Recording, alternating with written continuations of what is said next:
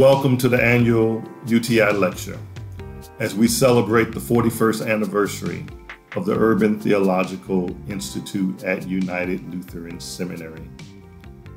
Thank you for this rich legacy. United Lutheran Seminary is 195 years old, and for 41 of those years, the Urban Theological Institute, better known as UTI, has been a part of this community. For the last 11 years, we have invited distinguished preachers to come and share with our communities on topics related to the Black church in reference to current events around the world and in our nation.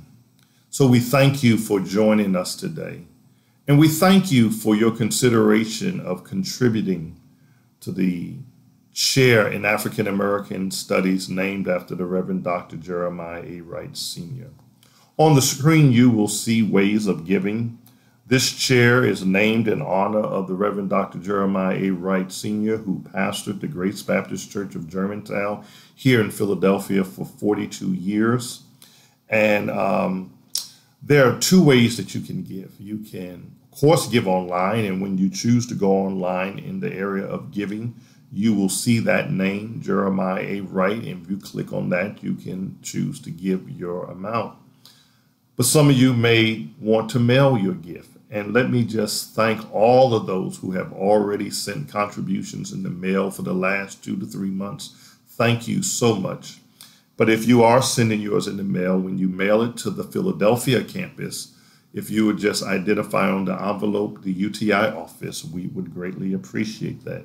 So thank you again for your consideration. We are halfway at our mark of $2 million.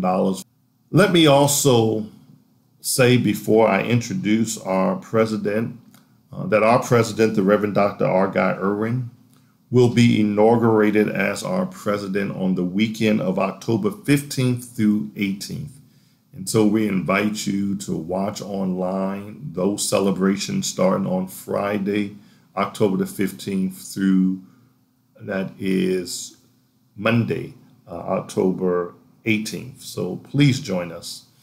Um, after Dr. Erwin will have brought us greetings, we will then have an instrumental selection, Lift Every Voice and Sing, by Minister Scott Cumberbatch.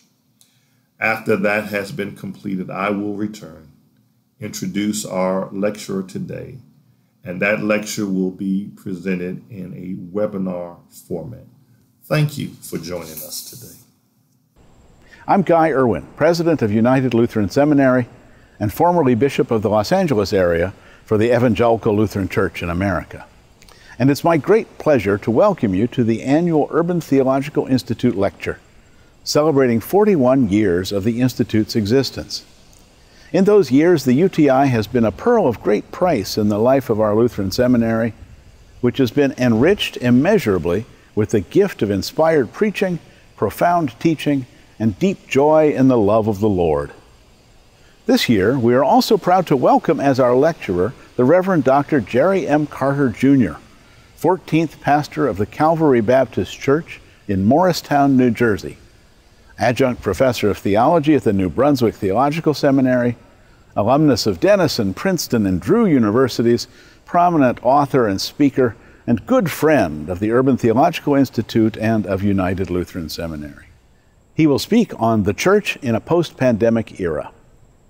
The pandemic realities have hit all of our churches hard. Some growth in experience and skill have resulted, but also some loss of connection and community. We're still in the midst of it. And in today's conversation with the Reverend Dr. Carter, you'll hear the perspective of a caring pastor and an eager prophet on what we can take as lessons from this experience and how he's coped with it. I ask God's blessing on his speaking and our hearing and pray that together we will all be brought closer to Christ even in this challenging time. Welcome to the Urban Theological Institute's annual lecture.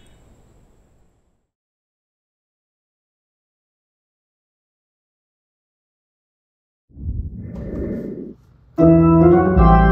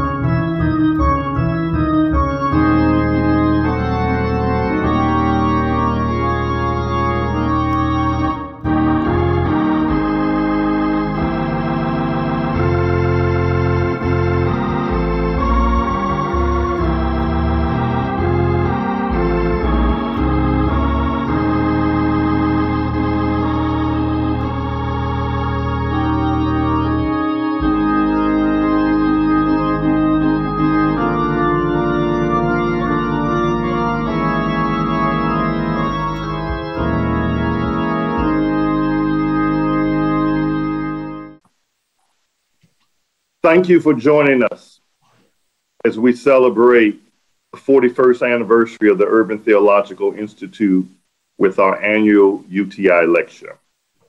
As I stated earlier, all donations given online or mail should be earmarked for the Reverend Dr. Jeremiah A. Wright, Sr. Endowed Chair in African American Studies. And as we approach the $1 million mark, help us so we can surpass $2 million to make sure that this chair is fully endowed. And let me just say thanks to many of you who have already given this year. Uh, many have already sent in the mail starting back in May up until now, and I want to just express my gratitude. Also, I, I want to um, thank all of those who work behind the scene to make this lecture a success our advancement team, our communications department, and our IT department. Now, last year, we celebrated the 40th anniversary virtually, and we thought this year we would celebrate in person with a 40 plus one event. but the pandem- pandemic, it continues. And so today's title is The Church in a Post Pandemic Era. But the reality is, we are still in the midst of that pandemic.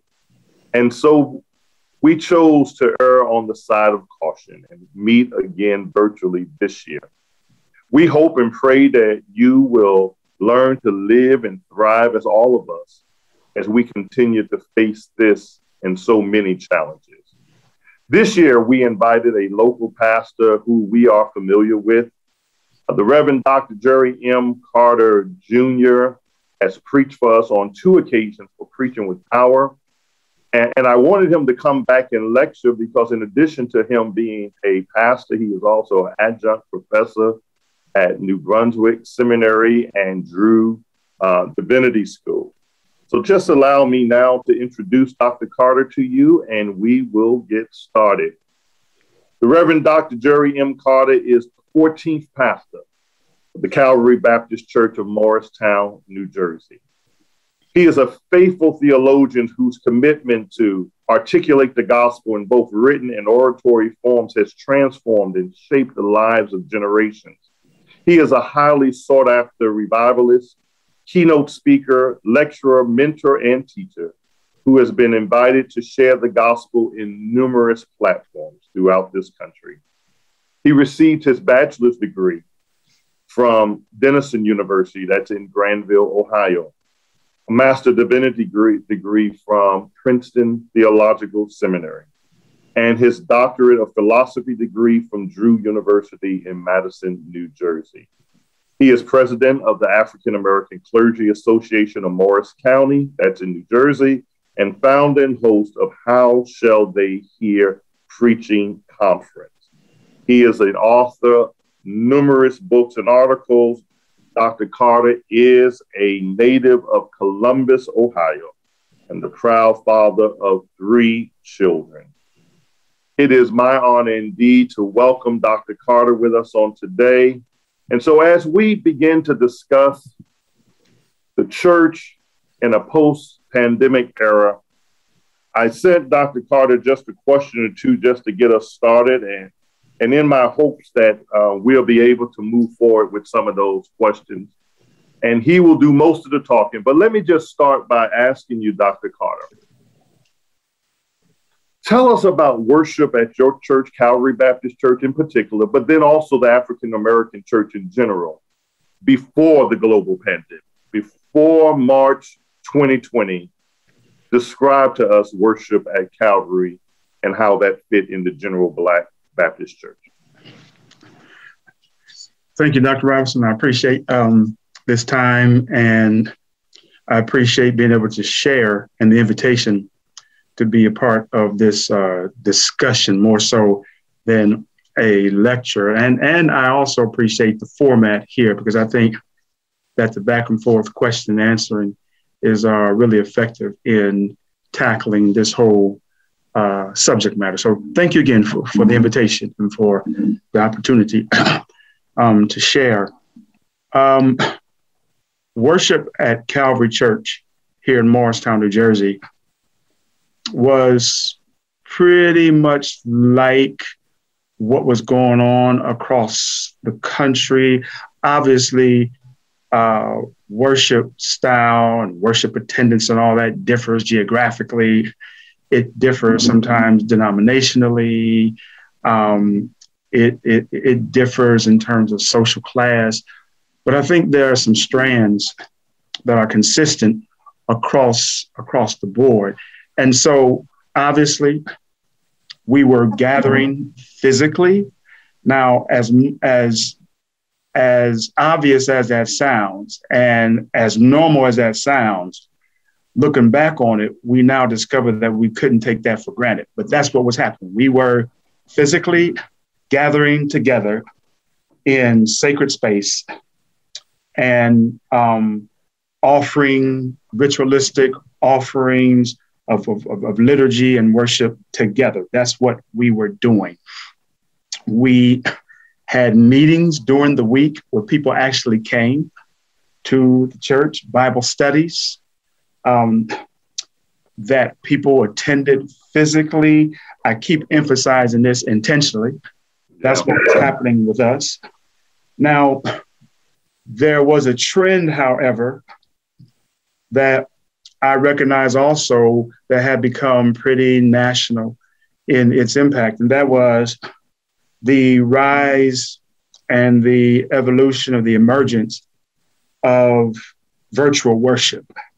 That was happening pre pandemic. Uh, we started live streaming probably, what is this, 2021. Uh, so we probably started live streaming about five years ago about five or six years ago. And uh, never knowing that we would have to depend on that later, that was just our original intent for live streaming was so that sick and shut in members could be a part of the real time worship experience, as well as some of our members who are younger members who are going to college, some of the military, some who just live across the country who still wanted to be a part of the worship experience and then also as a new means of evangelism. That was another reason that we started the live stream. And so we would stream uh, our 11, 1045 worship service and um, even some of our events at night, revivals, so forth and so on. They would be live streamed. Now, again, this is about four, five, five, maybe five years pre pandemic. So that it was the intent to reach an audience that could not get to the physical building. The assumption was that those who could get to the physical building would continue to come, and that our numbers of in, in attendance would would be the same, would be consistent, even with the live stream. But here's what started happening here at Calvary and in the African American church period across the country. And I found this out as a result of some conversation that the in person worship, in person uh, attendance started declining to some extent because of the convenience and the attractiveness of the live stream. Um, I think across the board, and this goes even outside the African American church, that there started to be a decline in physical attendance before the pandemic for a few reasons. One of which I've already mentioned in terms of live stream, but this this kind of rugged sense of American uh, individualism, where you know I don't necessarily have to be a part of the communal experience in order to worship God, in order to pray. I can be in my own space and worship God and be off in the woods somewhere near the beach or wherever, and just it can just be me and God. There's that sense of what, what I've heard called rugged American individualism mm. that started impacting um, communal liturgical experience. And then there was a rise in just casual attitude toward institutional religion, period. um, across the board. This sense of casualness um, affected people's attendance and made spirituality more important than religion. And people saw gathering in a building as religion. The spirituality could be nurtured outside of a building. So, between that American sense of individualism and that casual attitude toward institutional religion, and you add to that again the um, the influence and the impact and the spread of live stream, what started happening pre-pandemic in our church and beyond, is you saw this decline, and it was a gradual decline. So you look up and you don't see as many people wondering where they are. Um, so that was so that was happening. So the question being, what was going on in terms of worship pre-pandemic? We were gathering, yes, physically. We were gathering. I, I can say that a million times. physically, we were getting together. At the same time, we started noticing this decline in attendance and a somewhat of a decline in the number of people in our church who were actually joining our church. We had done, you know, work to try to find out why um, the demographic change in our community from being African American to uh, predominantly uh, Latino here in this area of, of, Morristown. So that affected us in terms of um, attendance.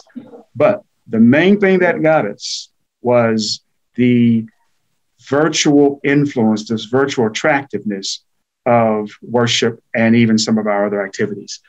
So that's um, for me, that's kind of what I saw happening in worship pre-pandemic.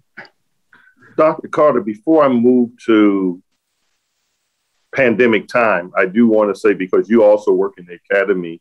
Uh, last month, uh, we had a faculty meeting and we talked about uh, continuing our online classroom presence. Um, but we do plan to meet face to face. And in, in that meeting, as we were planning this, um, we were given reasons why students would want to Zoom the class instead of physically attend class. Mm-hmm. And I had to, I remember speaking up and because we gave all the reasons of family and the different things going on in people's life. And I said also convenience. And That's when you said, yeah, it, just convenience sometimes is key. So I want to ask one question about what you just said. I really like the argument you use on religious versus spirituality, um, for, you know, physical attendance versus virtual attendance. Um, would you say during that five year period prior to the pandemic, where your virtual attendance started to increase and your physical attendance started to decrease, did it have any effect on the church's giving level? And I only ask that question from the vantage point of the churches that I work with, uh, where it seems to not be affected by that at all. Yeah. Um, no, I, it wasn't. It wasn't affected because yeah. We provided multiple means by which people could give electronically.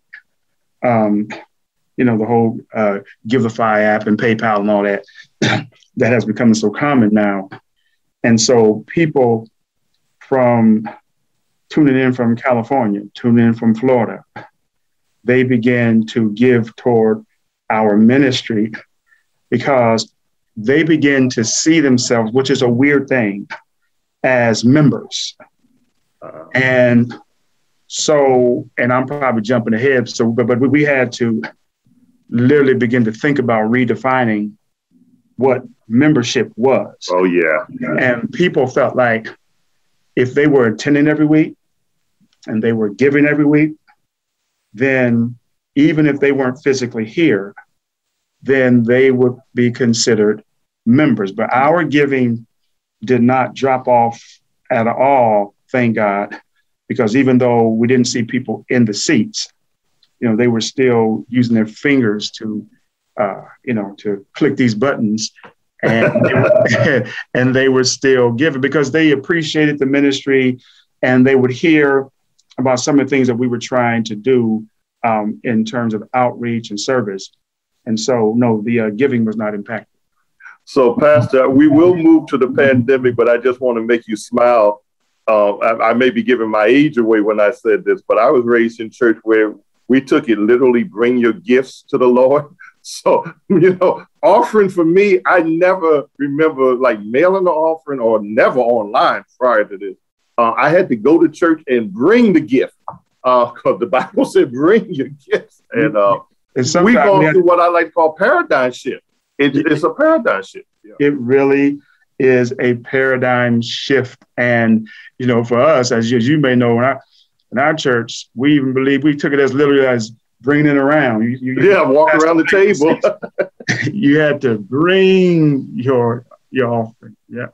So you did start moving toward it when you said about redefining church membership. So let's back into that question by just saying, in particular, how did Calvary respond once the pandemic hit back in March 2020? How did you first respond? And, and I'll clue in just for those who are watching us. And you know, the good thing about this, they are watching us live, but this will be out there for months and some years ahead. So people will hear us later. Um, and I would dare say, um, because you are already live streaming, I would say for you it was easy. There were some churches who were not, and they had to like jump board. But for you, how did you respond yeah. to the pandemic? Yeah.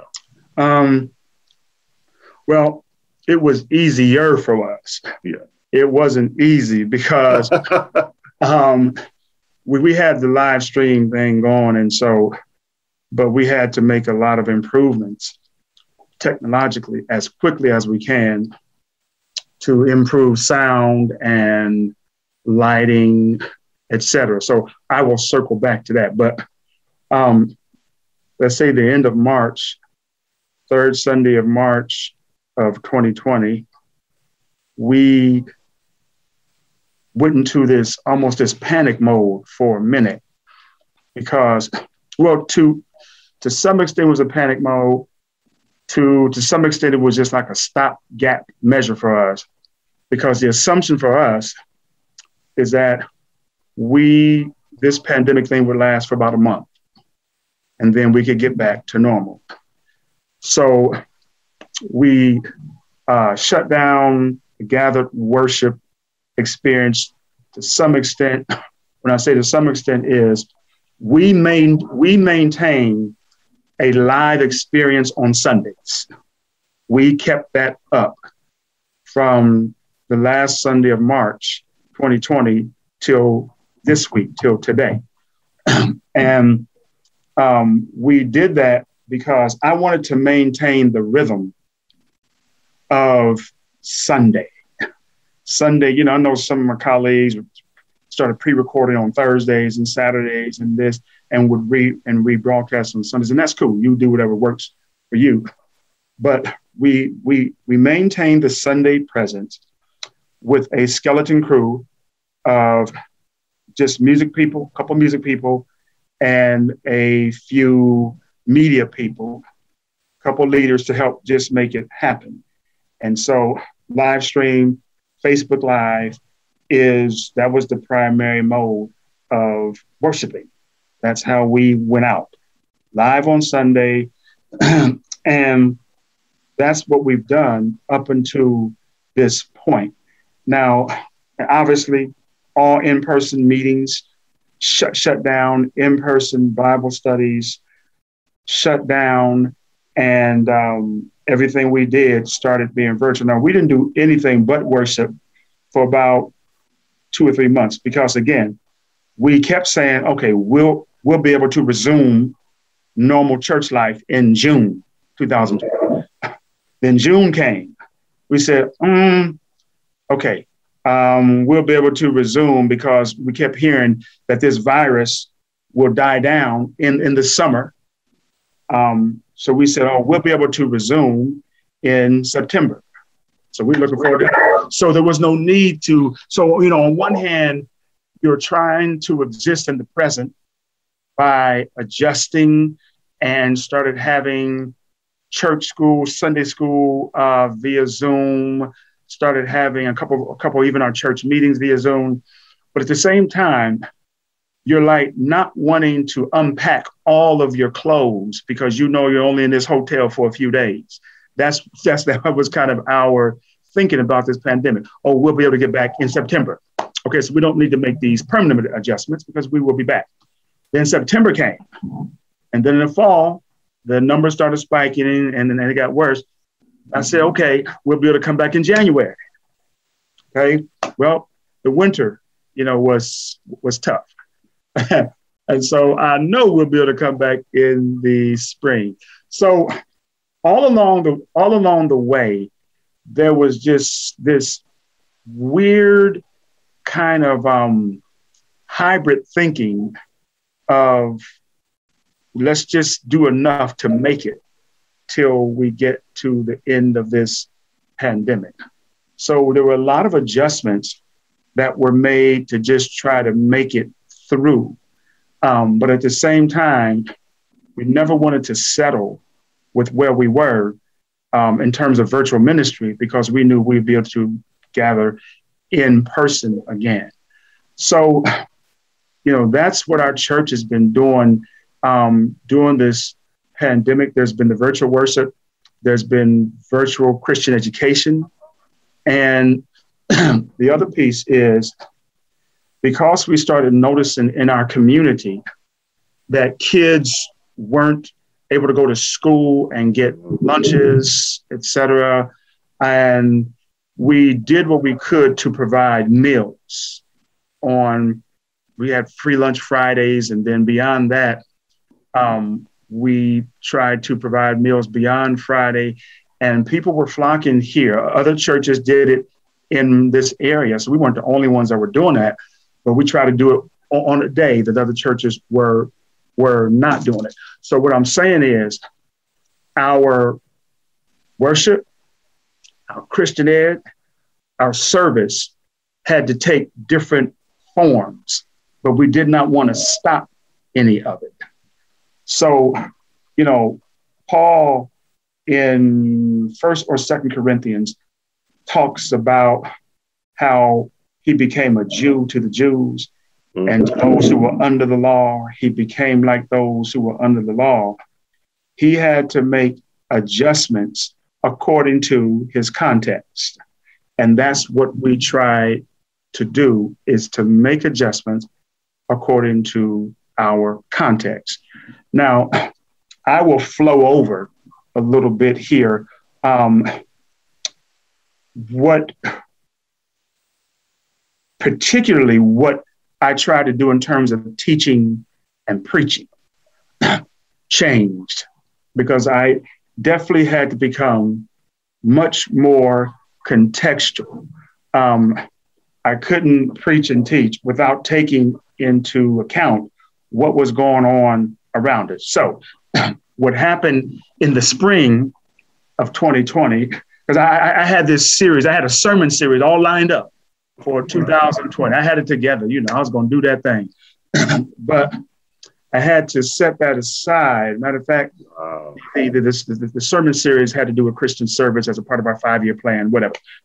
so I had to change. And I be, had to begin to be more topical in my preaching emphasis throughout the year. So I first had to tackle the issue of anxiety because when, when, when the pandemic first hit, people didn't know what was happening. It was we were nervous. Um, some people were um, underestimating this virus. Some people were overdoing it, and so there was this anxiety. So for about a month, I dealt with that whole anxiety piece and really focused on um, Paul's admonition in Philippians chapter four about be anxious for nothing, that whole theme initially. then from anxiety, I had to tackle the subject of theodicy and where is God in all of this? So, preaching focused quite a bit on Job and the whole issue of where where's God in suffering, because some of our members started losing loved ones, and um, you started hearing all kind of theological slants about how God was using this pandemic to reach people, how God had caused this pandemic. So people were coming to me with questions, Pastor. I mean, really, would God do this and caused me to lose my mother in this? So I had to move from anxiety to theodicy.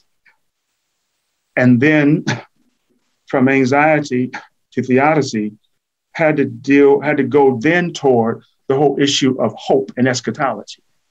So I had to make these moves in terms of preaching because after the whole theodicy emphasis, people just needed some hope that was grounded in eschatology, you know, to import the future into the present is where I've tried to emphasize. I'm, I'm just trying to show how during the pandemic, the preaching changed from anxiety to theodicy to uh, eschatology and hope, and had to weave in there some emphasis on healing um, and God's God's interest in the body and the health of the body, because in the African American community, as we all know, it's no secret, the pandemic seemed to hit us in a disproportionate way um, which had to do with some of the pre existing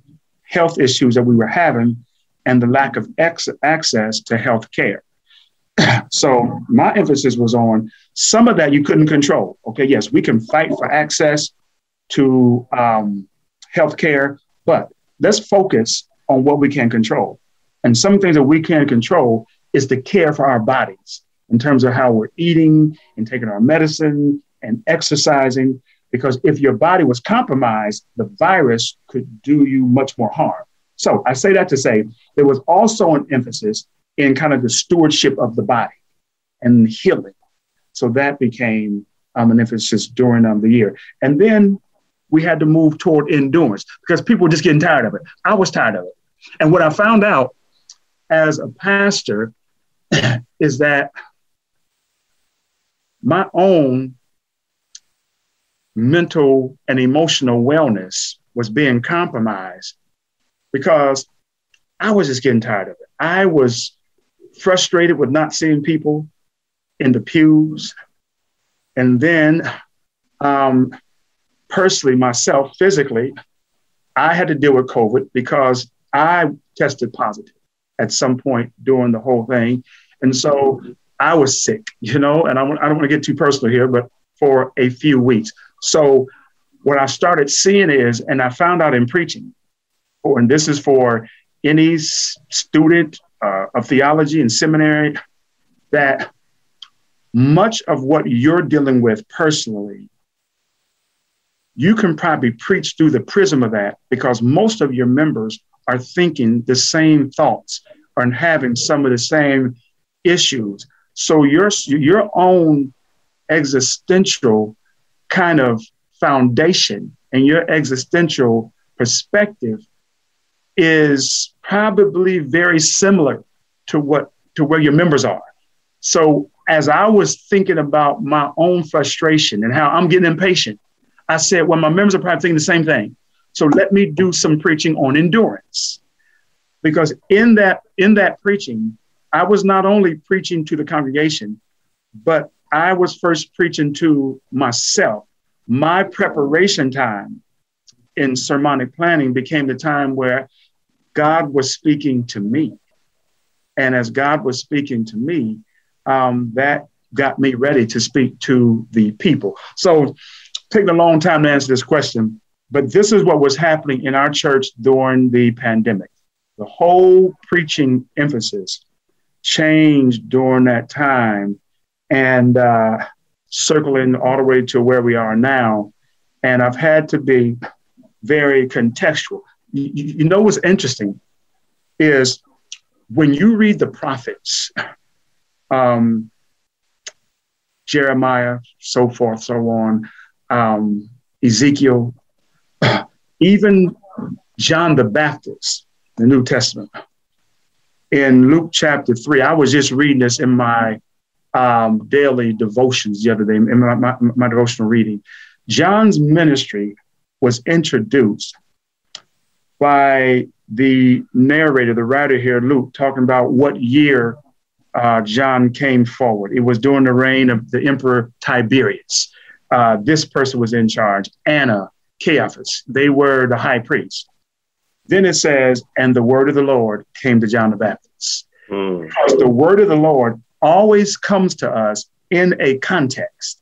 And when you read even the prophets in the Old Testament, it always says, and during the reign of King so and so, during the reign of King such and such, the word of the Lord came to Amos. The word of the Lord came to Jeremiah.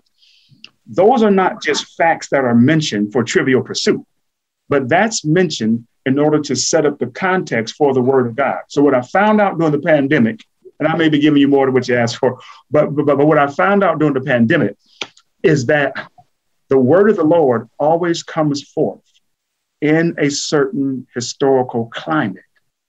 And the word of the Lord has to take into account what that climate is. So that's what changed for me during the pandemic um, from a homiletical perspective and a preaching emphasis. I'll stop right there. I, I want to stay in the present before we move to the future because we are going to go to the future. uh, we're going to have you make a prediction here. mm-hmm. But um, one thing I did want to inquire about um, you mentioned everything about worship, um, Bible study, how we did prayer meetings, and our children, youth. But how did you continue at Calvary in particular to do leadership training? Um, and you can connect that to how shall we hear? Like, mm-hmm. did we have it last year? Are we doing it this year? And, and also pastoral care for your members who are sick and shut in. How did you do that? Um, or continue to do that, I should say. Um, in terms of pastoral care, our our membership is broken up into as some as is in some other churches into smaller groups that we call we used to call sheepfolds or started calling life groups now and we have diaconate people both men and women who are responsible for that segment of their of the uh, congregation, which is typically determined by geography. So we have quite a few people who live in Western Morris County, then those people are grouped together, and you have diaconate people who who run those sheepfolds. So the way we did pastoral care was through those sheepfolds, um, through those life groups, and so um, that's how we would find out about sicknesses, um, conflicts, um, deaths, births. And so that information and events would be kind of funneled and channeled into the church office or whatever. And those things were mentioned on Sundays, um, deaths, so forth, and making sure families were affirmed um, from the pulpit. So, our primary way of doing pastoral care was to maintain the small groups. So those sheepfolds would have Zoom meetings, Zoom fellowships. It wasn't even a meeting, just a Zoom meeting, just to get on and say hello and to con- and to connect. And the people were so happy to just see each other, even like we're seeing each other now. Yeah. And so that became a primary way of doing pastoral care. And that became our primary vehicle for doing leadership development. Um, one of the things, the, one of the opportunities that the pandemic affords is to just start over on some stuff, just start over and um, and to begin to do some replacement and addition of leaders is what what what we are attempting to do in our diaconate and our trustee ministry and just leadership across the board, the pandemic gives you an opportunity to start from ground zero because it kind of cleanses some um, uh, some things and some moves you wanted to make that could have been a little iffy when we were all gathered um, becomes a little easier with the pandemic. So we've used, again, Zoom meetings, um, leadership training via Zoom. Uh, we've done that with our diaconate. We've done that with our ministers, our associate ministers here. So it hasn't been the same, but we have not um, just abandoned leadership development because coming out of this, coming out of this, the church is going to need new new leaders and to some degree new kind of leaders. And that's not a slight against those who have been in, but some people who may be open to creativity and technology and even some younger leadership is what we've tried to focus on during this pandemic is developing younger leadership to be coupled with some of the more experienced and seasoned leaders. And with our How Shall They Hear preaching conference, just as an aside, as a footnote, we did it last year as uh, kind of a hybrid. Uh, we had a small live crowd and did it, and also had a large virtual crowd, larger virtual crowd. And we plan on doing the same this year. This whole Delta variant thing, you know, is kind of shaking us up a little bit, but we plan on going forward this year with a hybrid approach again. And then just before we go to the future where we will end, um, so it's September now. Um, some churches started going back as early as June, July. Others have waited to this month, September, mm-hmm. to go back. Um, but in every case, going back um, normally requires social distancing, mask wearing in church, um, and in some cases, because your membership is so large, we churches I've known, you have to register. Like you just mm-hmm. can't show up. They they need to know you coming so they can plan accordingly. Um, I was just curious. Um, as of September, what has Calvary did? Did you start before September, or yeah. or are you still waiting? Because I said that and forgot to say, and some are still waiting after September. yeah. Well, um, some of my colleagues tease me because you know they say, "Man, you were anxious to get back to church." We um we actually started uh, gathering in person the second, third Sunday of March. Um, we we started there, and we people had to register to come. We had a capacity, even though our state uh, policies guidelines said that we could have, at that point, maybe even 50% of our capacity could be present. But we, we started off with no more than 50 people. Everybody had to register, and masks were required. You know, except for people who went up to the microphone, obviously, to take the mics, take their mask off and do what they had to do. so what started happening is people cooperated with that for about three weeks.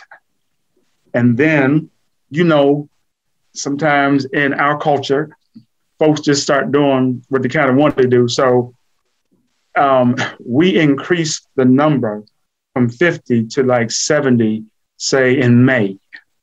And we always left space, room for those who did not register. So let's say our capacity was 70. 60 people would register, 10 would not and just show up. And so we factored that crowd in and still was able to maintain social distancing.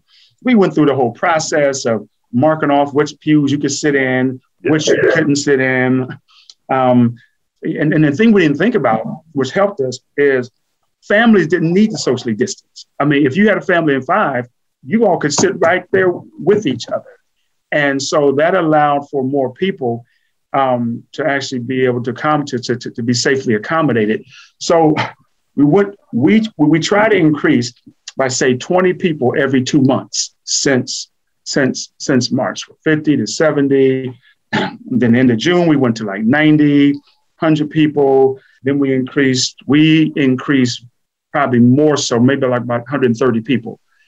Um, and we've been doing that all along, and it's worked well. I mean, just by the grace of God, we haven't had any outbreaks. Uh, most people cooperate. We even started allowing in August vaccine. Now, here's it gets a little tricky. Vaccinated for vaccinated people, mask became optional. Yes, vaccinated people, mask. So the question that again my colleagues were asking me, well, what about the people who weren't vaccinated, who weren't honest, you know, who, who wouldn't be honest? How? Because we, we, we, we couldn't check vaccination cards at the uh, door. You know, we didn't know how to feel about that. But even with that new policy in our church, the majority of our people still masked up. Um, some of us didn't, who were vaccinated, and we just kind of operated on an honor system and really haven't had any issues concerning that up to this point. This is coming up to the third Sunday of August. And um, to this point, from March, we've been in person, crowd has been increasing, social distancing, momentum is pick them up, is, is picking up. And so far, we may have to change this depending on what our state says, um, but masks are still optional for the vaccinated.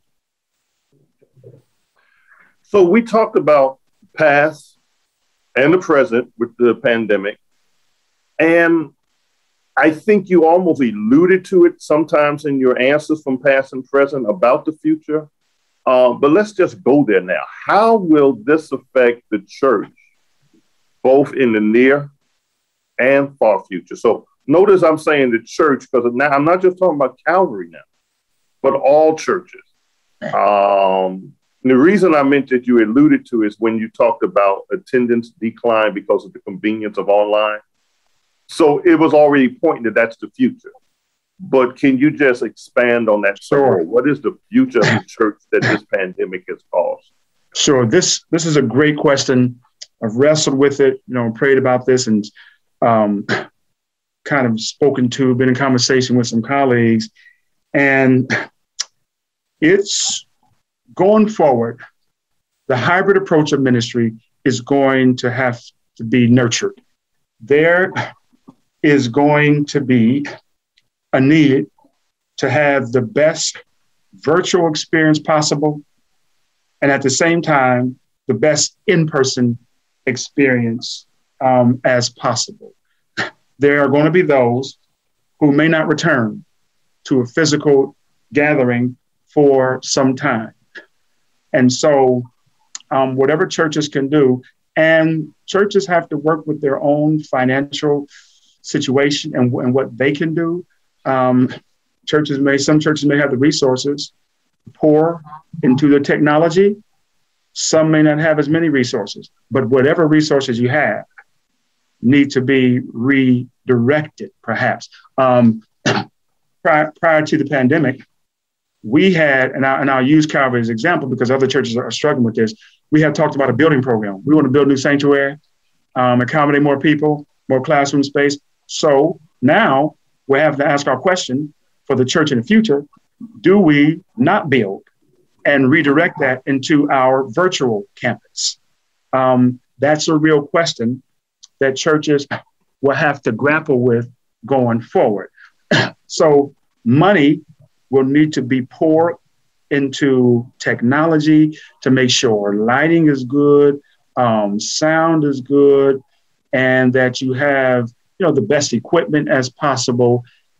That needs to be nurtured as well, again, as this physical in-person experience. Now, the other thing I would say is that churches will need in preaching and teaching going forward will need to emphasize the importance of being gathered together physically.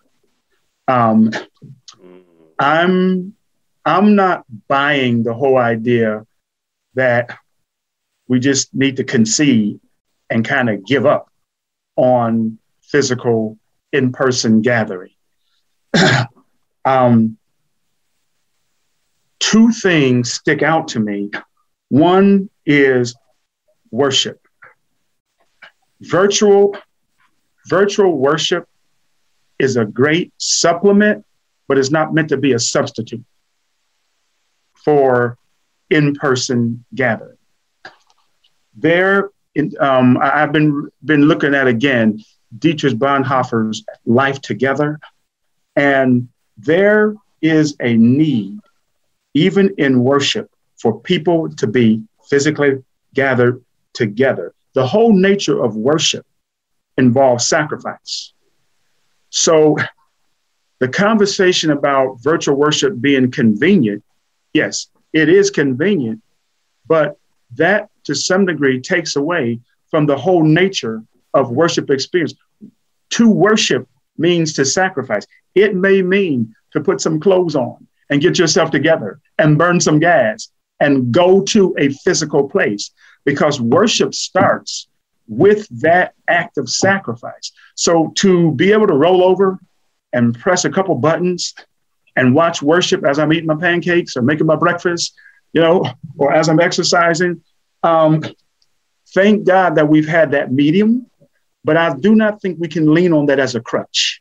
That in the church of the future is going to have to emphasize in its preaching and teaching the need for being in person and in worship because we have to rebel against the temptation to just give in to this individualistic mindset.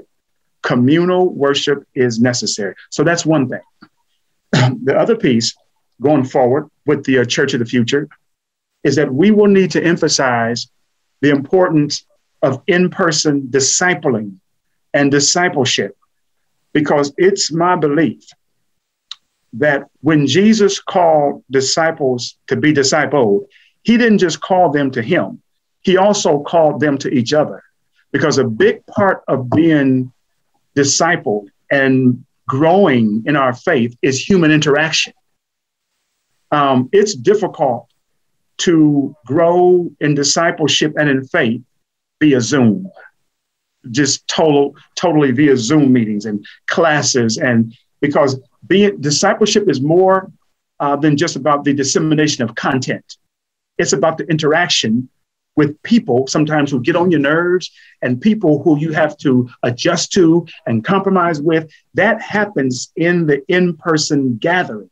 So, if you ask me about the future, the future of the church will need to emphasize those two, those two things the need for gathering in in person worship and the need for in person disciple. Um, where is it? Hebrews, where the writer says, let's not forsake uh, the gathering of the people, the assembly of ourselves together. We often quote that part, but what we leave off is the reason for that. The writer goes on to say, and let us provoke one another unto good works and unto growth. That whole idea of provoking one another happens when we are together. It kind of it, it, it kind of literally means irritating each other into better, provoking one another into better. And it's difficult to do that virtually. That there is a need for in person gathering. So you asked about the future, and I will reiterate, it's going to require the best we can offer um, virtually and the best we can offer physically, those two being integrated, because we have discovered that the Great Commission can now be obeyed through technology. Go into all the world? Yes, you can do that through Facebook Live. At, at the same time, we got to emphasize people getting back together. Yes, we often used to say, you don't have to be in these four walls to worship God. You don't have to be in these four walls to serve God.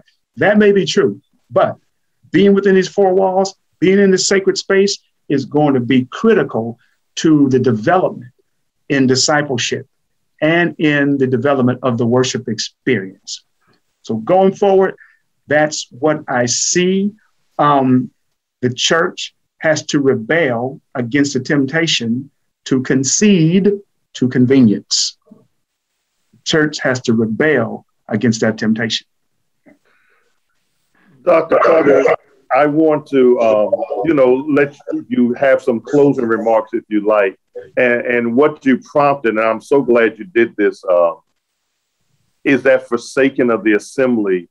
So, um, Dr. J. Wendell Mapson preached recently about um, returning to church and how happy people were to see one another. But we could see each other at Walmart. we could see each other at Target. We, so it, it's not just in person, it's something about in person and with God at the same time. And, and, and you hit it with that, that gathering for worship, provoking one another. But there is something about the sacred space. Yes, um, it is. Not to forsake that assembly. So um, as you give just your closing remarks, if you can just touch on that, because there are those who would say, but I can worship God at home alone. So what what is so unique about worshiping God in the sanctuary with others that's different than when we're at home worshiping? Sure.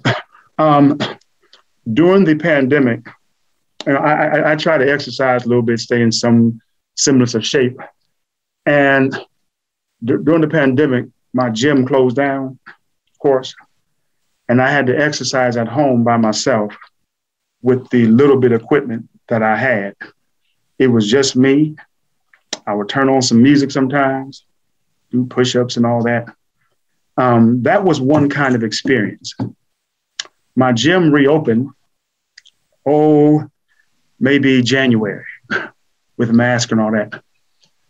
Being back in that environment, watching other people exercise, seeing different kinds of equipment, and just the gathering of people who had the same purpose took my workout to another level because it was one thing to work out by myself.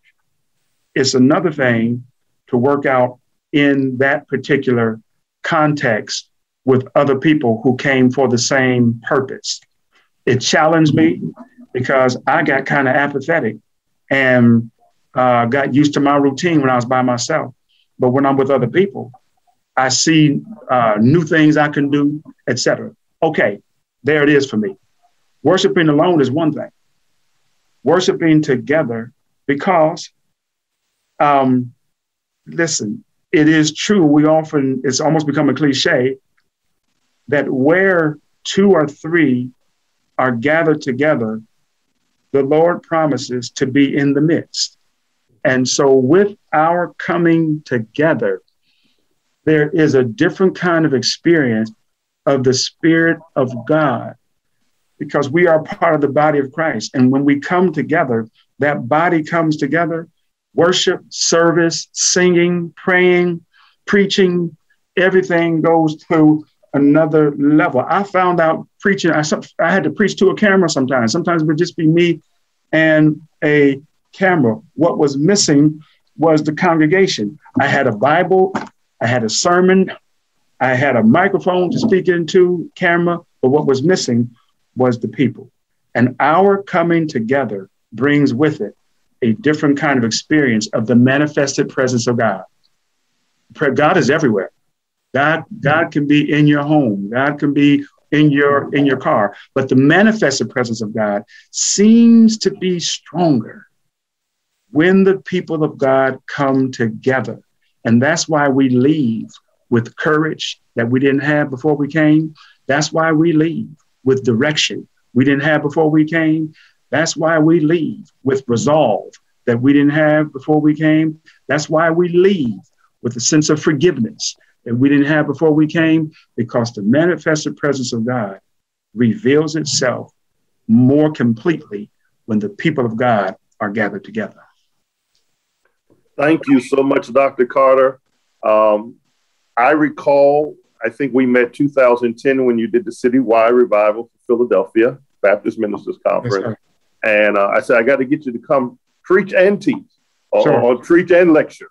And um, then I ended up only inviting you to preach. Right, right. So, this, so this, today is really an honor to have you because we've heard you preach twice for us doing Preaching with Power. Thank God we got to hear you also yes, just teach, lecture, and share with us. This was very rich. And the seminary community thanks you for your time. Thank you. Thank you. Thank you. God I appreciate bless. the opportunity again. Thank you, sir.